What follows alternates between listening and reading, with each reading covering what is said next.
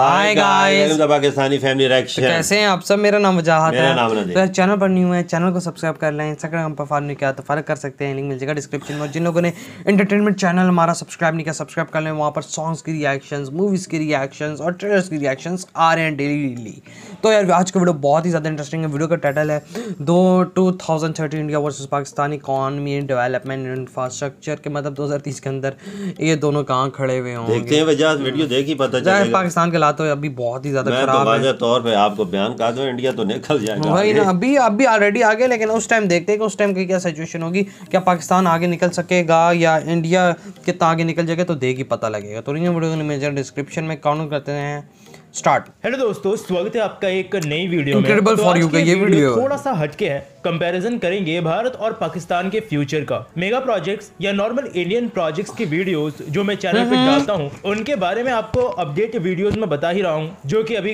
Regularly आ रही हैं इसीलिए बाकी दिन हम लोग ऐसी खतरनाक टॉपिक्स पे वीडियो बनाएँगे जिनको देख के आपको भी मज़ा आए। चीन के साथ भी हमने यही कंपैरिजन किया है और पाकिस्तान की रेलवे का भी फ्यूचर कंपैरिजन अच्छा। किया है लेकिन कभी भी ओवरऑल कंट्री कंपैरिजन नहीं किया जो कि आज इस वीडियो में करेंगे। वीडियो शुरू करने से पहले ही आपको बता देता। हूँ कि किसी भी कंट्री या वहाँ के लोगों को हर्ट करने का कोई टारगेट हाँ, नहीं है। सिंपल फैक्ट्स के साथ Facts। बात करेंगे और प्रोडिक्शन के बेसिस पे देखने की कोशिश करेंगे। आज से 9 से 10 साल बाद वाले इन दोनों ही कंट्रीज़ को। हेलो दोस्तों मेरा नाम है दीपक। आप तो देख रहे हैं। शुरू करते हैं।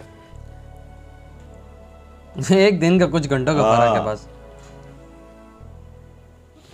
चलिए शुरुआत करते हैं। और जैसा मैंने बताया कि अगर आपको चाइना के साथ भी ऐसा ही कंपैरिजन देखना है तो इस वीडियो का लिंक मैं नीचे डिस्क्रिप्शन बॉक्स में डाल दूँगा जिसको आप इस वीडियो के बाद देख सकते हैं। तो शुरुआत करेंगे और बात करेंगे हम लोग के जीडीपी से। इकोनॉमी काफ़ी ज़रूरी होती है हर देश के लिए लेकिन क्या जीडीपी रहेगी पाकिस्तान की 2030 में इस वक्त प्रेडिक्ट करना थोड़ा सा मुश्किल हो गया है देखो कारण ये भी है कि कोरोना की वजह से इम्पैक्ट पड़ा है पाकिस्तान की जीडीपी पे लेकिन वो जीडीपी उससे पहले भी श्रिंक हुई थी इसीलिए सबका प्रोडिक्शन मैंने चेक किया काफ़ी अलग अलग है लेकिन सेफ़ साइड रहेंगे प्रोडिक्ट कर सकते हैं 350 से 400 नहीं, बिलियन दस डॉलर्स के सालों में बीच। बस इतना? मैं हाँ। बोल रहा हूँ कि हो सकता है है। बिल्कुल गलत निकले क्योंकि डिपेंड करता है काफ़ी चीज़ों पे क्योंकि अगर यही सवाल आपने मुझसे 2017-18 में पूछा होता तो जवाब 2019-20 के लिए बिल्कुल गलत निकल जाता क्योंकि उस समय पाकिस्तानी ना। काफ़ी हद तक श्रिंक हो गई थी। हाँ। खैर हुई तो हमारी भी थी। कोरोना वायरस ने इंडियन जीडीपी को भी बहुत बुरा मारा था। तो 2030 में हम लोग क्या एक्सपेक्ट कर सकते हैं? कह सकते हैं छह ट्रिलियन डॉलर से थोड़ा सा ज़्यादा या उसके आसपास क्योंकि काफ़ी। सारी रिपोर्ट्स इस तरफ़ इशारा कर रही है। लेकिन चलो जीडीपी बढ़ेगी ये तो हम लोग कह सकते हैं। मतलब इतनी बुरी तो दोनों में से किसी भी कंट्री की नहीं होगी कि जीडीपी गिर जाए। लेकिन जीडीपी बढ़ेगी तो लोग भी बढ़ेंगे। यानी पैसा बढ़ेगा तो खाने वाले भी बिल्कुल। बढ़ेंगे तो 2030 तक इंडिया की पॉपुलेशन कितनी हो सकती है इसी सवाल का जवाब मेरी कई वीडियोस में आपको 150 करोड़ मिलेगा बहुत श्योरिटी थी सबको कि इंडिया की पॉपुलेशन 150 2030 करोड़। में 150 करोड़ क्रॉस कर तो 50 जाएगी। और 2050 या 60 आते आते हम लोग 160 करोड़ भी पार कर हाँ। जाते लेकिन जस्ट कुछ दिनों पहले ही इंडियन गवर्नमेंट ने एक सर्वे करवाया था जिसमें यह पता चला की इंडिया की पॉपुलेशन एक्चुअली गिरनी शुरू हो गई है और आज़ादी के बाद पहली बार इंडिया में फीमेल्स की पॉपुलेशन मेल्स के मुकाबले ज़्यादा हो गई है। इंडिया के अंदर इस वक्त फर्टिलिटी रेट गिर कर दो पहुँच गया अच्छा। है फर्टिलिटी रेट से इतना समझो कि एवरेज एक फीमेल कितने बच्चों को जन्म दे रही है। यानी कि 2030 में इंडिया की पॉपुलेशन अब कितनी होगी? इस सर्वे को माना जाए तो बिल्कुल लगभग उतनी ही जितनी आज है। यानी 139 करोड़ के अच्छा। आसपास गिरेगी। इसलिए नहीं क्योंकि इतनी बड़ी पॉपुलेशन के लिए 10 साल का समय काफ़ी नहीं है। पॉपुलेशन इतनी गिरने के लिए कि कोई मेजर चेंज नोटिस किया जाए। लेकिन पाकिस्तान का क्या? कुछ समय पहले पाकिस्तान के प्राइम मिनिस्टर ने बोला था कि पाकिस्तान को कड़े कदम उठाने पड़ेंगे अगर पॉपुलेशन को कंट्रोल करना है तो। क्योंकि पाकिस्तान की पॉपुलेशन 2030 तक 26 करोड़ हिट कर सकती है। और जैसे कोरोना के नए नए वेरिएंट आ रहे हैं अगर लोगों को कोरोना की वजह से कोई और काम करने को नहीं हुआ तो फिर तो और ज़्यादा बढ़ेगी। यानी पॉपुलेशन के मामले में पाकिस्तान खैर भारत से अभी तो बहुत पीछे है। लेकिन ये वो एरिया है जहाँ पीछे ही रहे तो बेहतर है। क्योंकि पाकिस्तान के पास लैंड भी कम है रिसोर्सेस ज़रूर है उनके पास लेकिन एक लिमिट के बाद वो भी पूरे नहीं। बात है, पाकिस्तान एक को और उतना बड़ा नहीं, लेकिन दोनों ये ही कि- देशों में 2030 तक ज़रूर बढ़ेगी वो है पोल्यूशन जी हाँ इंडिया और पाकिस्तान पोल्यूशन दोनों ही कंट्रीज़ में हाँ, है लेकिन इंडिया में कुछ हाँ, वो है ना। कुछ। पहले मैंने कुछ अपडेट्स देखे थे जिसमें बताया गया था कि इंडिया 2030 तक 50 परसेंट यानी 50 प्रतिशत अपनी एनर्जी की रिक्वायरमेंट्स रिन्यूएबल सोर्सेज से पूरी अच्छा। करेगा ये अचीव करना वैसे मुश्किल ज़रूर हो सकता है लेकिन ये अब नेसेसिटी है क्योंकि गाड़ियाँ फैक्ट्रीज के धुएँ इनसे बहुत पोल्यूशन ये तो है यार, बीमारियाँ भी बॉब द बिल्डर अपनी तरफ़ से देख ही रहे हैं लेकिन गवर्नमेंट को इन रिन्यूएबल रिसोर्सेज की तरफ़ भी ध्यान ज़रूर देना पड़ेगा। लेकिन पाकिस्तान का क्या? तो पाकिस्तान के अंदर भी उनकी बड़ी सिटीज़ में पोल्यूशन है हाँ। और सबसे ज़्यादा प्रॉब्लम उनका भी वही है जो हमारा है यानी एयर पोल्यूशन लेकिन गवर्नमेंट कुछ कर रही है क्या? हाँ शायद क्योंकि मुझे याद है एक बिलियन ट्री सुनामी करके प्रोजेक्ट शुरू हुआ हाँ। था पाकिस्तान के अंदर। बिल्कुल। 2014 में शायद प्रोजेक्ट लॉन्च हुआ था और इन तरह के प्रोजेक्ट्स की लिटरली ज़रूरत है। इससे पहले कि फिर काफ़ी देर हो जाए।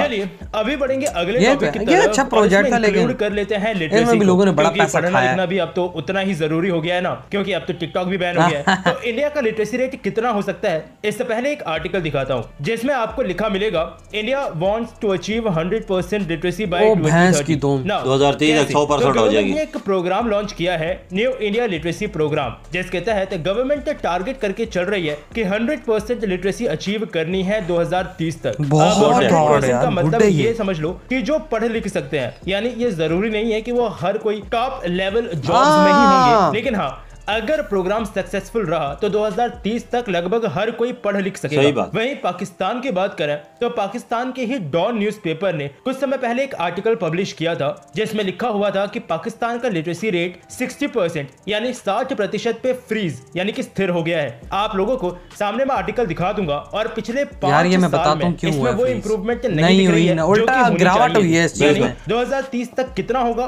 पता नहीं क्योंकि अगर ये आर्टिकल सही है तो फिर पे बात करूँगा, लाजमी देखना है करके लिटरेसी को पुश करना पड़ेगा इस चीज़ को आगे बढ़ाने के लिए क्योंकि नेचुरली ये बहुत धीरे धीरे आगे बढ़ेगा। जिसमें 2030 तो क्या बहुत ज़्यादा समय लग सकता है। चलिए अभी बात करेंगे अगले टॉपिक की और ये है डिजिटलाइजेशन हाँ। इस पे शायद मैं बोल सकता हूँ कि 2030 तक भारत पाकिस्तान से आगे ही होगा हाँ। क्योंकि डिजिटली इंडिया इस वक्त भी पाकिस्तान से आगे ही है। और 2030 तक 700 बिलियन डॉलर्स वर्थ की नई अपॉर्चुनिटीज़ डिजिटल वर्ल्ड में इंडियंस के लिए क्रिएट होने वाली है। डिजिटली पिछले कुछ सालों में इंडिया ने काफ़ी ग्रो किया है पाकिस्तान के कंपैरिजन में मतलब इंटरनेट के जो प्राइसेस काफ़ी डाउन हाँ। हुए ही हैं काफ़ी। इंटरनेट पहुँचा है और टैलेंटेड तो हम लोग हैं ही जिस वजह से बहुत तो अच्छा है। इंडिया में देखने को मिला है। लेकिन पाकिस्तान में वो ग्रोथ नहीं दिखी है। ऐसा बिल्कुल नहीं है कि पाकिस्तान डिजिटल प्लेटफॉर्म पे ग्रो नहीं कर रहा है। लेकिन रफ्तार स्लो है पाकिस्तान की। अब इसका जिम्मेदार कौन है?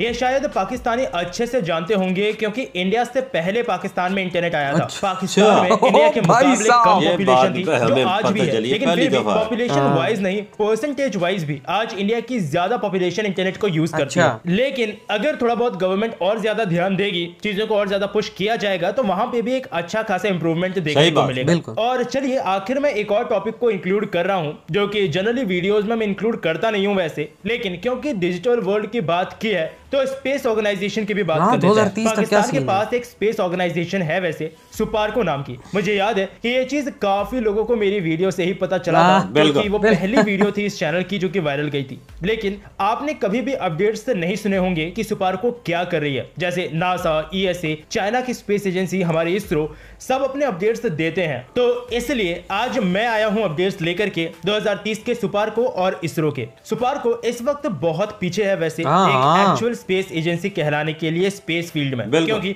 आज स्पेस टेक्नोलॉजी बहुत आगे जा चुकी है। 2030 में सुपार को अपना पहला लॉन्च व्हीकल तैयार कर रही होगी क्योंकि 2040 तक इसे कंप्लीट करने का टारगेट अच्छा। है लॉन्च व्हीकल जैसे हमारा जीएसएलवी या पीएसएलवी है लेकिन हमारे काफ़ी नए जनरेशन के हैं क्योंकि हमने बहुत पहले से इन्हें बनाना शुरू कर दिया था जहाँ हमने एस एल वी काफ़ी कुछ बनाया जिन्हें हम अब ये चीज़ है ना, ये देखो। इसके अलावा इनके कुछ सैटेलाइट लॉन्चिंग प्रोग्राम चल रहे हैं लो अर्थ ऑर्बिट के लिए जिनमें फोकस किया जाएगा सैटेलाइट डेवलपमेंट में क्योंकि खुद से तो वो इसे लॉन्च नहीं कर पाएँगे लेकिन सैटेलाइट का आइडिया ज़रूर उन्हें हो जाएगा। इसके अलावा एक न्यूज़ आई थी कि 2022 में पाकिस्तान चीन की मदद से अपना पहला टाइकोनॉट स्पेस में भेजेगा। हाँ। टाइकोनॉट से पता है आप लोगों को क्या होता है? चीन के अंतरिक्ष यात्रियों को यानी कि चाइना के एस्ट्रोनॉट्स को हम लोग टाइकोनॉट्स बोलते हैं। यानी वो यात्री पाकिस्तानी होगा लेकिन जाएगा चाइना की मदद से इसलिए उसको भी टाइकोनॉट ही बोलेंगे। जैसे हमारे पहले अंतरिक्ष यात्री यानी कि राकेश शर्मा जी को कॉस्मोनॉट बोला जाता है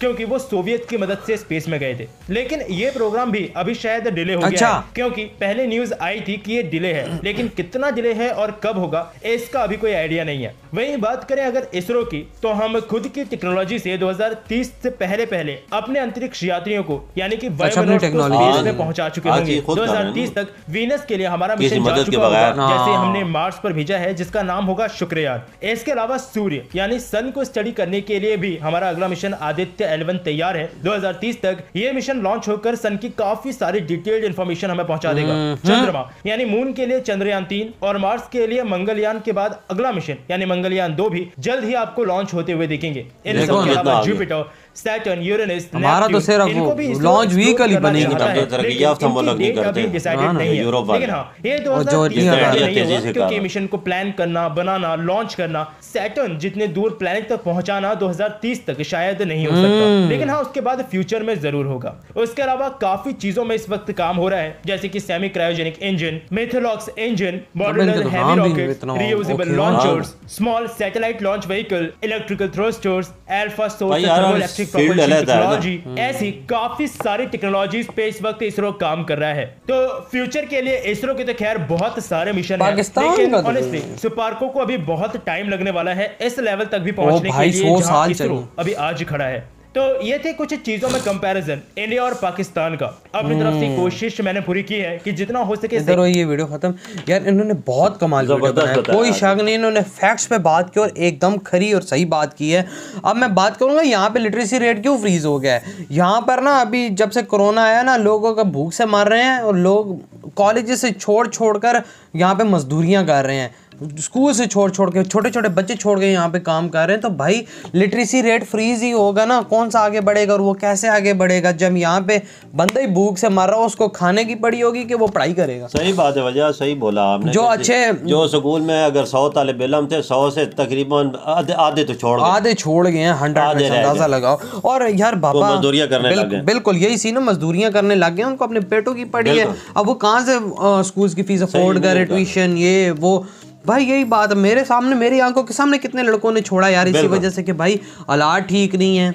यहाँ पर। मेरे आँखों के सामने हालात ठीक नहीं है यार कमाने के लिए गुजारा नहीं हो रहा फिर काम करना पड़ रहा है। तो ऐसे ही होता है ना यार जब आपका कंट्री स्टेबल नहीं होगा तो लिटरेसी रेट कहाँ से कोरोना की वजह से बहुत आया कोरोना की वजह से तो और हुआ है हाँ। लेकिन हमारी बाबा मतलब के से वो मतलब एक होता है ना पॉलिसीज़ वो पॉलिसी कोई नहीं है। ना हमारे तालीम के जो बजट है वो बहुत कम है बहुत- इतना कम है कि बंदा सोच भी बिल्कुल और हालात भी कंट्री के ऐसे ना कि हाँ। लोग खाए के पड़े बिल्कुल मेन मसला इधर आता लोग है। बोलता है कि दो वाकी रोटी मिल जाए तो वो बेहतर बिल्कुल तो यार और बकाया जिस तरह से अब एजेंसीज की बात है, पाकिस्तान, पता नहीं कब जाता है, चाइना के उसमें ऊपर। लेकिन ये है कि भाई अपना सैटेलाइट ये 2030 तक कर रहे होंगे और 2040 तक बनेगा। हाँ इंडिया बना के तीन चार बैठा हुआ है। हाँ ना ये बात तो है। भाई बीस साल और लगेंगे। हाँ, हाँ 20-30 ना। साल इंडिया की इसरो बहुत आगे हुई यार उसको बंदा सोच भी नहीं सकता। देखो चाँद को स्टडी करने के लिए। हाँ। चंद्रयान थ्री कितने कितने मिशन है तलाश किया है हर चीज़ की है और लोग कई बाहर मुल्कों के थ्रू जो जो अभी चीज़ें लॉन्च करते हैं इनके थ्रू कर रहे हैं। हाँ। बिल्कुल ऊपर भेज बिल्कुल। और इकोनॉमी जो जीडीपी पे हुआ इंडिया की तो चलो छह ट्रिलियन दिमाग में बैठ रही बिल्कुल, बैठ गई। हमारी तो भाई अभी मतलब 300 बिलियन आई थिंक तो 2030 तक बस 400 बिलियन तक बढ़ेगी। ये तो बहुत ही खराब है ना वजह कुछ भी नहीं है ना। मुझे तो इतनी भी नहीं लग रही तो। बिल्कुल सही बात बोला तो आईटी का शोबा उठा के ले- देख लो इंडिया इंटरनेट पहले आया पाकिस्तान। लेकिन फिर भी देख लो इंडिया में कितना आगे निकल गया था 2030 में तो बंदा सोच भी नहीं सकता तो यार घर में ही। अभी भी हर घर में और क्या उधर तो अभी मैं कहता हूँ सहरा के कोने पे बैठे हुए उधर हाँ, एयरटेल या जियो चल तो रहा होता है निकल जाएगा। तो बिल्कुल। हर चीज़ में आगे है ना। इसमें कोई शक नहीं यार। तो यार आप लोग बताएँ आपके क्या थॉट है इस वीडियो के बारे में? अगर ये आप लोगों को कंपैरिजन अच्छा लगा तो लाइक कमेंट शेयर सब्सक्राइब करें। इधर वीडियो खत्म करते हैं। अपना बहुत ज़्यादा ख्याल रखिएगा तो। बाय